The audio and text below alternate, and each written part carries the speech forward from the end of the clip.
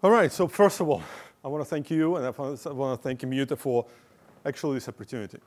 It's great to talk about uh, how we're thinking about Immuta, where we apply Immuta. This is going to be a bit more technical talk. Uh, so a few words about me. I am head of architecture for JP Morgan Cloud and data analytics on the cloud. Uh, as part of that, we also implementing policies and security. So here I am. Uh, that was day job, my evening job, I guess is I also teach. I also work at Columbia, where I'm working on uh, data management classes and on uh, management classes on Teams. So I'm going to try to bring it all together and talk about, uh, first of all, what we want to apply in, in, in, the, in this agenda. Number one, I want to define what does scale mean, because I want to talk about how do we want to scale policies in a large enterprise. What does a scale mean? How do we define a scale?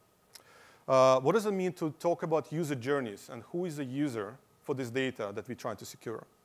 What does it mean to create a dynamic policies and why it's important for us? What does it mean to run policy as code? And that's what we do in, in JP Morgan. We're really thinking about the policy as code and how we're going to control it and manage that. And the last one, if we talk about the code, the natural step would be how do we do unit tests? And I think the concept of monitoring, it really resonates with what we think in internally as well. We're working very closely with Immuta on this, on how do we start thinking about the impact the policy or attributes or tagging or anything else that policy requires makes on the end user. So uh, number one, uh, scale. Uh, everybody knows about Chase, I'm sure. Uh, you know, one of the oldest institutions, 1799, I think, when we started as an origination. But where, where, are we today? This slide is a bit old. It's one year old, so imagine this number just keeps growing. Um, what I want to call out here in the context of Immuta and data is uh, how much data do we have? We are in excess of 500 petabytes today. How many employees do we have that use data or work with data? Over 250,000. About over 100,000 are people that actually work with data on a daily basis, analysts and data scientists. We have over 60,000 engineers. We operate in over 100 different markets. We operate in over 60 different countries, right? So when we talk about the scale, this is a scale of an enterprise that we operate in. And I can argue that uh, we can probably rival some of the you know, quote unquote internet companies at that scale, especially around data and the complexity we have around data. But the challenge that uh, we need to overcome is uh, some companies, you know, if you lose 10 like clicks, you know, it's okay. If we have an issue with a trade or customer engagement, it's a severe damage to organization and to a client relationship. So the rigor and controls we put around data is probably on a different level. Now, when we talk about scale, uh, let's talk about what does it mean, uh, or how we're thinking about scaling the data. When we think about scaling data, the goal for us is really around scaling data for the end consumer. End consumer in this case will be uh, an analyst or a reporter or a data scientist. So when we think about this in a very simple terms, we really want to go into a concept of data democratization. And the point of data democratization is what Matt, I think, touched on. It's really how fast can somebody find the data, be self-sufficient to start using the data. We're thinking about agility. And when we talk about data agility, it's not necessarily around how fast I can start using the data. It's really around how fast can we introduce a change to the data. And this we can propagate throughout the organization. We can start adapting to the change. Now, we have to do all this without compromising any of the controls and security. And obviously, we need to do it at the global scale. Right? So if you think about that, let's now talk about some of the, I'm, I'm, I'm going to try to skip through the set quickly, but how we're thinking about it is we, we're looking at more modern architectures like a data mesh. Probably everybody's familiar with the concept.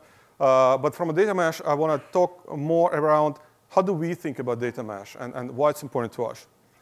Data mesh is a concept that really forces us to start thinking about data as a product, which is a great concept because when you have a product, you kind of need to assume that you're going to have a client, right? And if you have a client, you build a product for the consumer. It changes the way you engineer the product. It changes the way you're trying to uh, make it available. And changes the way you make it discoverable and accessible. And data mesh, uh, the main point for us around data mesh is a self-service. How do we move our client experience into self-service analytics. But you can't really do self-service, especially data mesh, uh, where we start talking about technology, very diverse set of technology in, in our organization, and we start federating from a central lake to federated technology stacks. We cannot do it without federated approach to policy and governance. And this is where Immuta is really helping us. Uh, so let's talk about user experience and the user journey. I'm going to make an assumption here.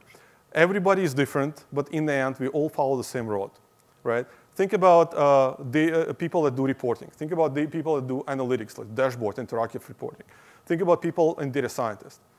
The, the, their journey is pretty much the same. The outcome is different, but journey is the same. Everything starts in one place. I need to find data. Where do I go to find this data? Who do I talk to? How do I talk to them? Do I trust them or not? It's, it's all about that experience. Think about the experience of uh, Amazon.com. You go to Amazon, you want to buy something, you can find the product, you can understand who's using the product, you understand the quality of the product, you can start thinking how to, how to use it. And the next one around uh, in, in the journey is I found the data, I know I want this data. Where do I go? What do I click to start getting access to this data? Right? And that's a pretty complex experience. Once I have access to this data, next step is relatively straightforward. What technology do I have that can connect to this data so I can actually achieve what I want to achieve and deliver the, the, the value to organization, right? So regardless who you are, if you deal with data, especially in analytics, the journey always starts with the first three steps. I need to find it, I need to find how to access it, I need to find how to use it. So from that point, uh, let's talk about what does it mean to talk about access to data? I mean, really, we're here to talk about security and access. I think there, there was a slide which I really like because it kind of connects to this, around cross-section between authorization and authentication, right? For us, it definitely is converging, not converging, it, it converged already, right? Now we need to catch up. Um, authentication, we, we, we, usually think about authentication on a level of organizational hierarchy.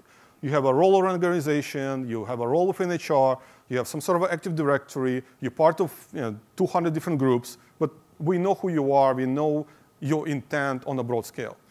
But uh, when we talk about authorization, authorization really works on the level of uh, what I would call business hierarchy. What action you can take within the context of the business, within the context of your question.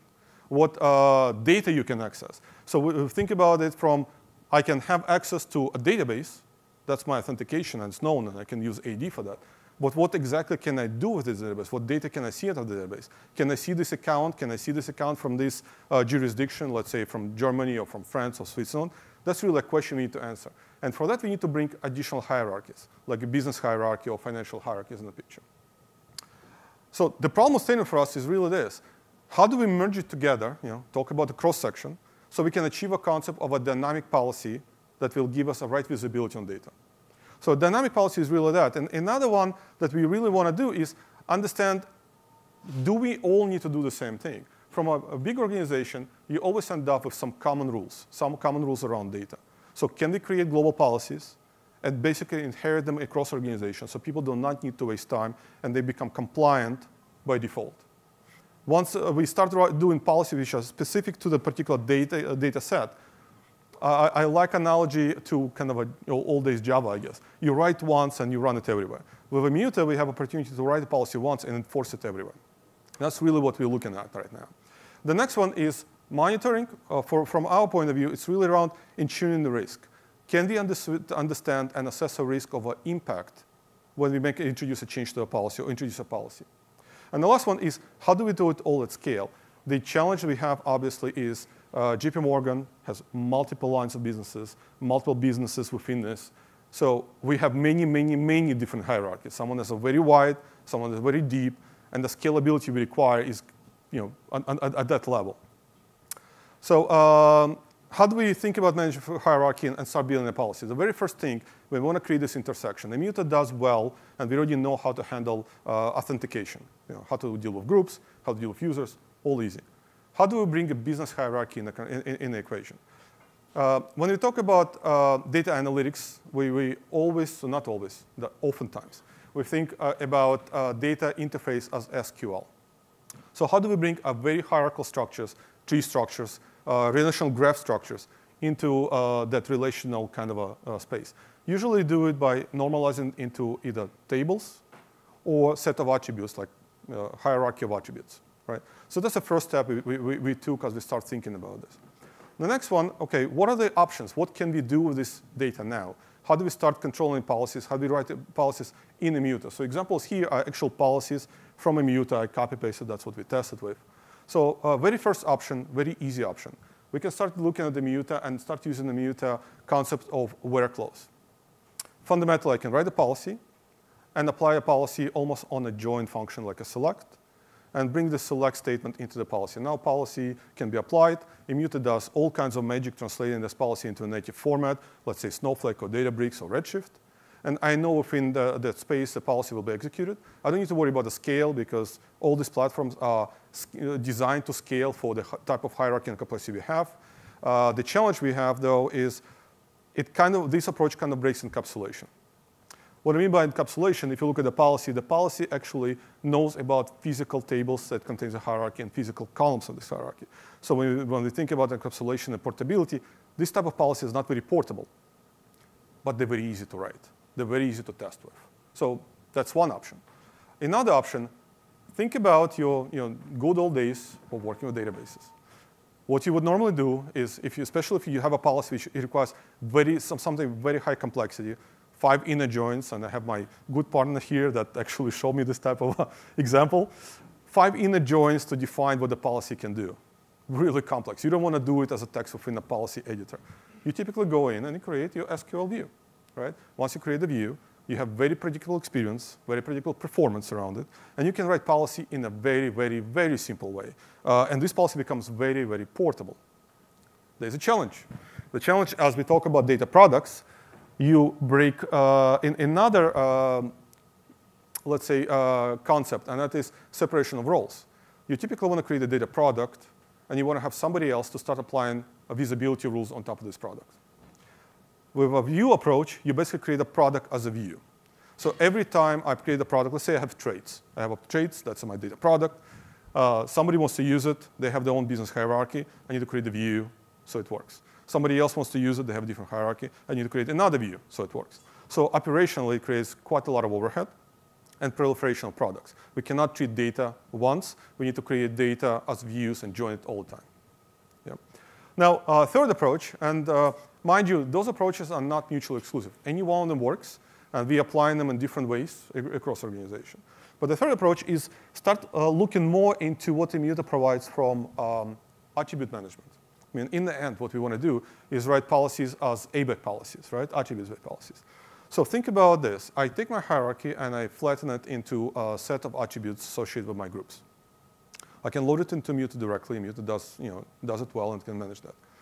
Now I can write a, a policy which is pure policy based on attributes, pure ABAC policy. Example is here. What do I gain? I really gain, uh, I, I do have separation of roles because my policy is independent of data. Uh, I do have portable policy. This policy will execute in any environment where Immuta can operate. I do get support for the policy test. We're going to talk about policy tests a bit later. What may not work, and this is where we really invest in our time right now, is scalability. Some of these hierarchies may end up to be 500,000 uh, in depth, very, very wide. And permutations you need to do to flatten can go into millions, millions of attributes per user. And that becomes a challenge, right? But yet again, all three options will work, and all three options are out, kind of out of the box with some work with, with a policy editor we're using. Now, uh, policy as code. One of the challenges, and I, and I know uh, we're going to have more debate with Mutafox tomorrow, but uh, in, in, in, our space, uh, when we talk about the policy, we do need to separate con concepts of uh, authoring, where you write the policy, from publishing and the policy is executed. And there are many reasons for it, and some of the reasons are controls that we have to do within organization. So if you think about policy as code, we did build an environment where you can separate authoring, where you connect with uh, your LDAPs and catalogs and hierarchies and audits and all kinds of stuff, where we can author the policy. In this place, we, we start loo looking more and more into kind of maker-checker concept, where you can write the policy, you can test the policy. Once policy is tested, we have a very controlled process of how do we promote the policy into production. Production environment is more of a read-only instance where we promote the policy and we publish it out. One of the reasons for that is we can actually intercept policy publishing and start applying additional uh, controls around unit testing. How do we unit test the policy? How do we unit test or predict the impact of a policy change to the rest of the organization? And this is where uh, it, it, really becomes complicated for us. Um, edge conditions. Think about, I introduce a change to a policy. Edge condition would be, did I make something completely closed? Or did I make something completely open? How, how, how do I know? How would I test that? Uh, when I think about impact, Um, the last thing I want to do, and I've been in, in this business for know, 24 years, I've been on these calls many, many times. I don't want to get a call at midnight saying, hey, we have a regulatory report, needs to go out by 2 a.m. We're stuck. And the reason we're stuck is somebody introduced a change to some attribute, published a policy, and I cannot use this data because I have no access anymore. You know, in, in reality, when you think about data access, data access is not your endpoint in Snowflake and Databricks. Data access is your policy that as we define it within Snowflake and Databricks. And you can potentially just close it. And the goal for us is to make sure we can proactively understand who is going to be impacted, how they're going to be impacted, and the risk. Risk in this case would be we may have a policy and you know 100,000 different users associated with the policy, but there is not a single query that is associated with the policy. So policy is kind of an orphan. So introducing a change to the leading, not a big deal right? So we need to be able to make this assessment before things go to production. Another one is policy aggregation. And this is where becomes also very interesting. Um, when you think about data sets, when you think about policy, what we can do with Immuta and what we want to do is really a combination of a column level policy, row level policy, subscription policy. On the same data set, you may end up with 100 different policies. In the end, when I execute a query, all these policies will be aggregated as part of my execution plan. And I only see what, I can uh, what, what that aggregated, aggregated plan or policy can return to me. Okay, so if I start introducing change to one policy, what else is affected? How, how is it affected? Can we predict the visibility or hierarchy in which it is going to execute? That, that, that's a challenge for us as well, we're working through. And the last one is observability. So you probably all know about observability, well-defined concept. We've been talking about, I don't know, for a decade now. Uh, uh, and initially, we started with observability from a concept of we have observability from infrastructure and application point of view, so we can better support our, our, our business use cases. Then we start talking more about data observability. Data observability kind of adds another dimension or couple of dimensions around data. And the concept here is my infrastructure is great, my systems is amazing, everything works well, but my data is late or it has a quality issue. In the end, my business cannot run. So data observability in this case really brings together all these concepts. Now, how do we think about it from a policy point of view? Because policy becomes the access point for my data. So how do we bring it together? Uh, example here, um, policy is really kind of an intersection of your data source definition, your, let's say, uh, model that, uh, of your data, your tags and classification around your data, your groups, and your attributes. And the cross-section is your policy. So if somebody decides to make a change to a data model, how can we give them enough tools, enough knowledge that that change going upstream through the policy will actually affect the policy and what policy will do for the data? Because again, policy is the access point to this data now, not, not, not, not a database, not, not Snowflake or Databricks. If somebody introduces a change to attribute, how will that propagate? So this is where we are right now. Now, to bring it uh, together, let's talk about the user experience one more time and, and, and the goals we have uh, uh that, that we want to do. The goals uh, that we have uh, is not around just securing data or controlling the data or creating a governance that we need for organization. It's really about self-service, self-service for data analysts.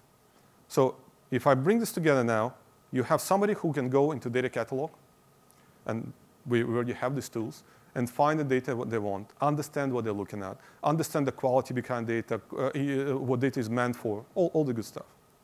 We have this data uh, secured with policies, you know, authored with Immuta. We allow a user now to say, I have intent, this is my intent. I want to use this data for training purposes of my model, right? Based on this intent, which is again an attribute, we can match it to the best policy that can give them access to this data. Once that happens, and we can uh, go through a control flow where you have certain approvals, you know, certain audit trails, everything needs to be done. But we're looking at automation here.